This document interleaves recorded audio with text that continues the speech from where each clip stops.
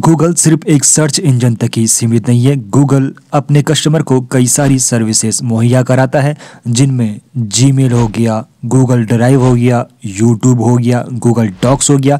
तमाम तरह के ये सारी सर्विसेज़ गूगल अपने कस्टमर को प्रोवाइड करता है और कुछ कुछ सर्विस के लिए वो चार्ज भी लेता है। तो गूगल ड्राइव के बारे में तो आप सभी लोग जानते होंगे।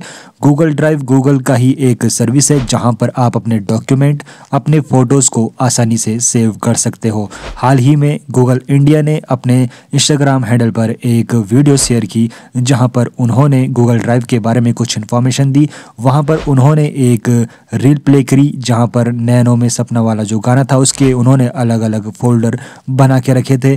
और जब फोल्डर ओपन कर रहे थे तो गाने का हर एक लिरिक्स वहाँ पर आ रहा था और एट दी एंड वहाँ पर लव इमोजी वहाँ पर गूगल ड्राइव ने शो किया था। तो आपको बता दूँ, आप गूगल ड्राइव को गूगल ऐप स्टोर या फिर प्ले स्टोर से आसानी से डाउनलोड कर सकते हो और इसमें बिल्कुल भी स्कैम नहीं होगा। और अब एआई का फीचर भी गूगल ने गूगल ड्राइव में एड ऑन कर दिया है।